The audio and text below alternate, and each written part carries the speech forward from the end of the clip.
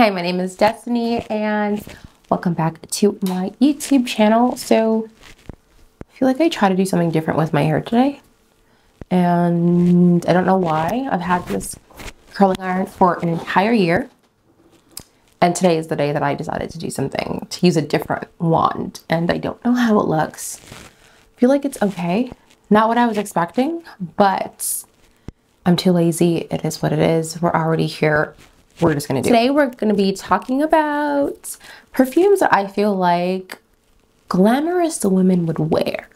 This is just kind of like a fun little topic that I thought that I would just kind of do. But like when I think about like someone like super glamorous, like Rihanna or Beyonce or, you know, even like Eartha Kitt, to be honest, like just those really glamorous, put together women. These are the perfumes that I think about that I think they would smell like if I was ever in the same room with them.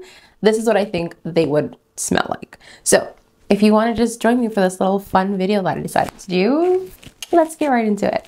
The first glamorous perfume that I have here is called Libre by YSL, but Libre Le Parfum, I'm saying that incorrectly, I'm sorry you guys.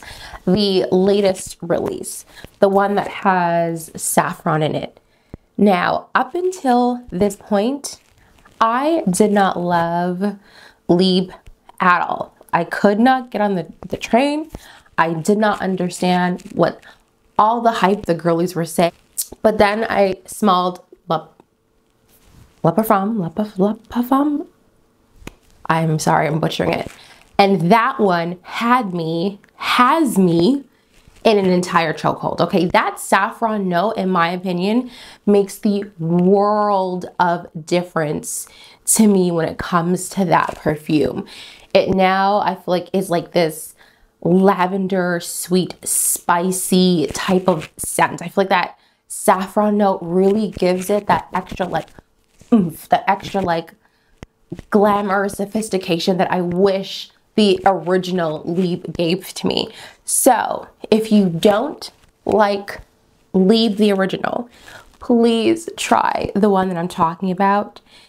It really, really might change your now, mind. The second perfume that I have that I feel like absolute glamorous women would wear, of course, and I feel like this video wouldn't be this if I didn't include this perfumer, and it is Frédéric Malle Lipstick Rose. And just the entire inspiration for this perfume, to be honest, was to symbolize the glamour of Hollywood and they're getting ready and they're put on their lipstick and this is the scent that they would be wearing or the scent that you might smell in their dressing rooms. So, and I completely understand what they're saying. It is a waxy, lipsticky, powdery type of scent. And to me, it smells so nostalgic because if, you know, you ever smelt your mom's back in the day, like lipstick had that very, very waxy smell. That's exactly what it smells like. And I know that might sound off-putting, like you want to smell like wax. Like it's just a different type of smell and just the powderiness of it, the rose in it, everything just, it smells so feminine and ladylike and like you just have your ish together all the time is what I picture a woman wearing this would look like. And I'm really happy that I discovered it because I know it's not really one that's usually on the forefront when it comes to Frédéric Malle. It's usually Portrait of a Lady and Music um, Music Ravageuse. So like I, I went in and I think I had smelled in the store and I was like taken back and I was like, oh my gosh.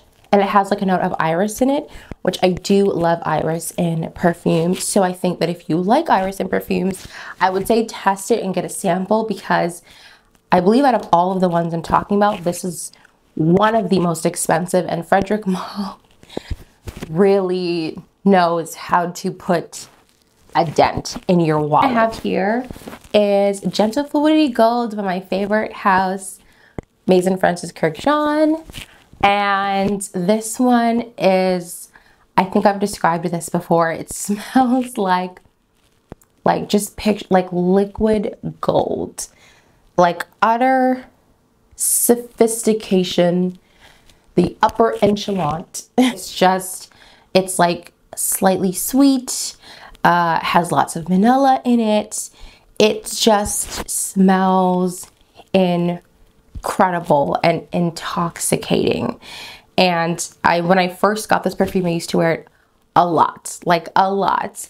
And people used to be like, what are you wearing? What are you wearing? What are you wearing? What does that smell? Like you smell so good. Just endless, endless compliments. And I've said this before in my previous videos, but Maison Francis is one of my favorite houses for so many reasons. I feel like the quality of the perfumes that's produced, the quality and thought that is put into the bottles is really amazing. The packaging, I I really love when perfume brands think about everything. They think about the packaging what it comes in. They think about, you know, the actual perfume bottle itself, the juice inside. Like they actually think about that. And I appreciate brands that are like that. Gentle Fluidity Gold.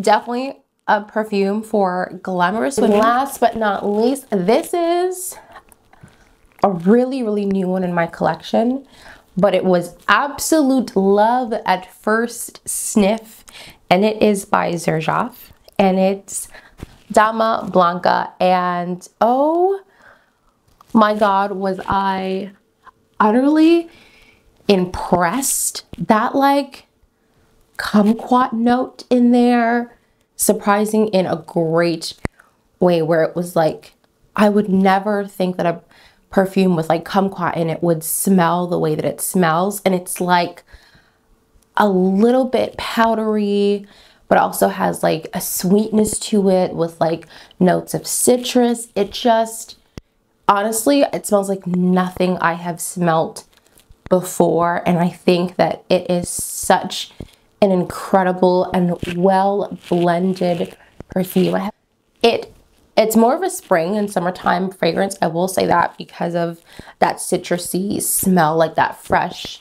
But I don't I don't know how they did it, but it smells so good. You guys, I would recommend getting a sample of it because it's granted I blind bought this. Okay, I got it for a really, really, really, really a really good deal.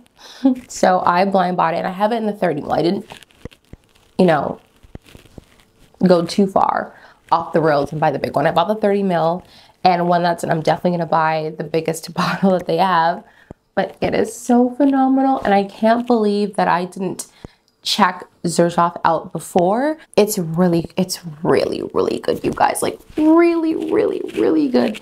And I think if you like powdery, I think if you like slightly sweet, and I think if you like citrus, you have to get your nose on this and you have to smell it. Just, just smell it and test it and wear it it's really, really good. Like they did a really good job. Anyways, it's kind of a short video. That's kind of all the glamorous perfumes that I wanted to share with you guys. Let me know what perfumes you wear that make you feel glamorous and sophisticated and just, you know, like you just have your stuff together. what perfume makes you, you know, feel like that? I would love to know. Please make sure you like, subscribe, and comment, and I will see you guys in my next video. Bye!